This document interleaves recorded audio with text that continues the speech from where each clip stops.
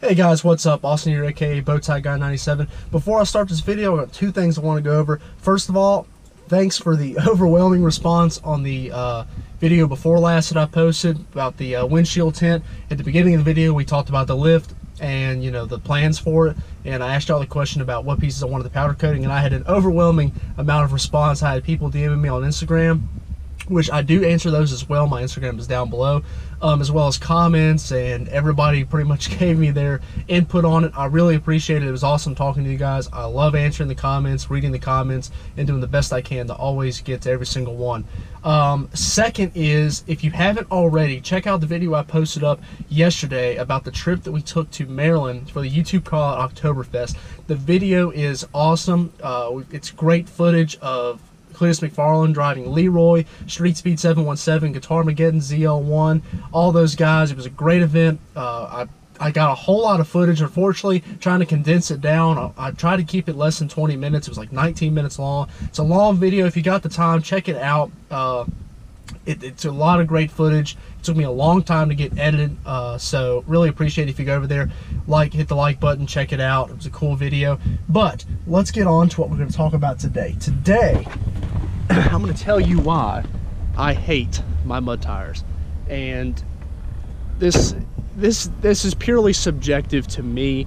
Um, I have done different tires on this truck since I've owned it. I've had an economy tire, the Michelin LTX. I've had a General Grabber AT2, uh, a Nitto Terra Grappler, the original Nitto Terra Grappler, the Terra Grappler G2s, and now I've had the Toyo Open Country MT.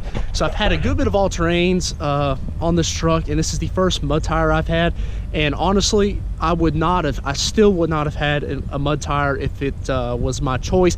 But the deal that I got on these tires, I couldn't turn it down. So it, it, the deal was they came with these tires and they look awesome. I mean, we're, we're, we're going to talk about pros and cons, but the one greatest thing is these tires are awesome. I mean, they look incredible. The big lug design, all that beefy sidewall. And sorry, the wheels are dirty because I ain't cleaned them since we were up there in Maryland. Uh, so that that is one bonus. But let's get into why I personally hate the mud tires. I do about 100 to 150 miles a week regular um, on interstate. That's just the interstate. I probably do a whole nother 100 to 200 around town. Uh, so that interstate driving is annoying with these tires. They are loud, they howl. The faster you go, the louder they are. And I mean, that's to expect with a mud tire. I'm not sitting here thinking, oh man, they, they should have made these tires quieter because that's not what they're made for. They're mud tires, you know? They're not made for the highway. They're not designed to be quiet. They're designed to go through the mud, get you out, and, uh, you know, tear it up. So they're just, they don't work for me. All that highway miles that I do, it, it is annoying. It really isn't. At first I dealt with it, you know, we got to the summer and, you know, crank the music up, have the windows down, you know, it, it, they looked good. It really didn't bother me. Now that we're getting into winter and the windows are rolled up and I'm heading up on more trips, it's it really starting to bother me because I can't, it's hard to hold a conversation in the truck because you're yelling because the tires are so loud you know, like the trip we just took up to Maryland, you know, 10 hours of going over 70 miles per hour on the interstate. It it really really got to me. I, I really I'm really kind of done with it. Um, they it's just I'm I'm sticking with them till the spring because that's when I'm going to get the new wheels and tires. But they they honestly are just they're driving me insane. Now it's not just the noise that has bothered me with them. The, uh, the ride has suffered severely. When I switched from the G2s to these tires, the ride went way down. It rides, it doesn't quite ride like a tractor trailer, but it, it, it rides pretty rough. I mean, it, you're, you're feeling every single bump in the road and uh, it has a little bit of road walk and I thought at first maybe it had something to do with the uh, the alignment on the front of the truck but I had the alignment checked and I had it checked again and then I rotated them around and I just I don't know what it is it's at high speeds it's got to walk you know it's kind of a little to the left a little bit to the right um, and it, there could be more factors to it. You know, I've done all new ball joints and everything else in the front. Everything's tight, everything's good, and she still she still's got that walk. And you know, from what I've read, the mud tires they're known to do that. You know, you don't have the type of surface contact that you have with an economy tire or an all-terrain tire. You know, you've got all this space that never contacts the uh, the asphalt. So that's one thing. That's the second thing. The third thing is traction. I had the chance to take them up in the mountains this past summer, and they did awesome. There were some spots where when I used to have terra grapplers in the same spots, I used to have to put it in four-wheel auto just to keep from continuously spinning. My truck would make it. But it's one of, you know, a lot of those tight S-pins where you you lose all your momentum and you got to make a sharp turn up gravel and loose gravel and you'd spin. Not with these, man. They did awesome. They gripped that gravel in the dirt and I mean, tore it up all the way up the mountain. They did way better than an all-terrain. So off-road performance, definitely going to give it to them. Uh, you know, wet grass, stuff like that. I, am up in my yard a lot, pulling out trailers and everything else. Uh, there'd be some times where if I'd head up the hill, I'd get a spin before my locker locked.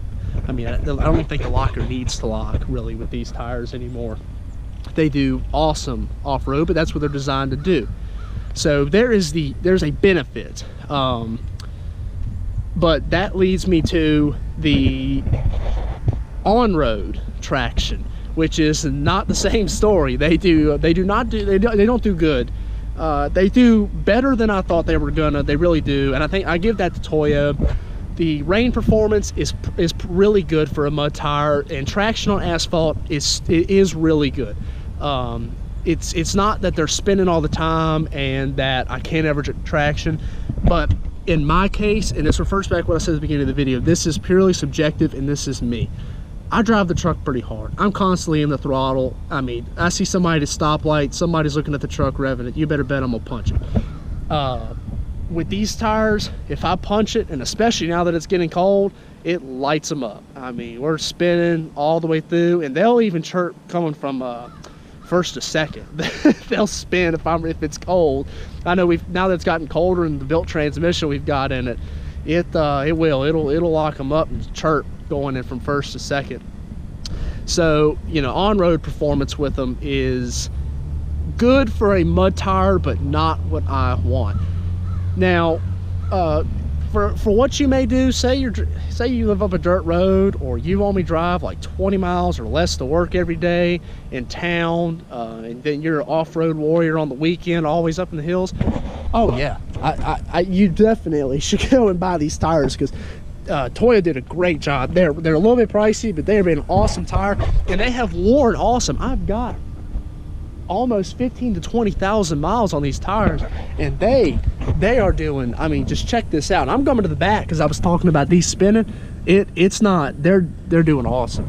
The tread wear is phenomenal on them, way better than I thought it was going to be. So my expectations have been exceeded from when I bought them, but they uh, I, am just dissatisfied because of what I'm trying to use them for. It's not working.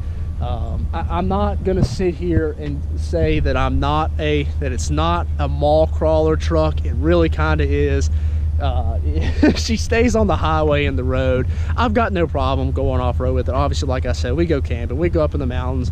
I'll tear it up, you know, run it up gravel roads, uh, dirt, you know, a little, little bit of mud, not crazy mud uh, thrown in a ditch. It's, it's not really a big deal. But I'm not out there every weekend like I used to with it. So there, there's no need for me to have the tires. Um, I think the route I'm to go coming up here this spring, which I know I keep talking about, and I'm waiting for the right time to tell y'all what the plan is. I think I'm to do the Nitto Ridge Grappler, Ridge Grappler, which is the RT rugged terrain tire. Uh, it's the mix between the Trail Grappler and the uh, Terra Grappler. So that'll still give me the aggressive look, but also give me better highway uh, performance and not be as loud. So if you were uh, if you were looking to do a mud tires maybe you're on the fence, I hope this answers some of the questions you guys got. Uh, this again, like I said, purely subjective, and it's going to depend on what you're using your truck, Jeep, or whatever you're putting the tires on for. Uh, but for me and what I do, they just they just don't cut it. Um, and but I'm no way knocking Toyo or the the uh, Open Country at all. Been a fantastic tire. I uh, appreciate y'all watching. As always, hit the subscribe button, like, and comment. I try to answer all the questions, like I said at the beginning of the video. Check out the other videos on the channel. Take care. Have a great day.